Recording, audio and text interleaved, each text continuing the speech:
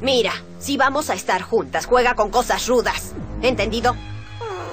Los unicornios son rudos. Ay, me pregunto si Billy tiene estos problemas.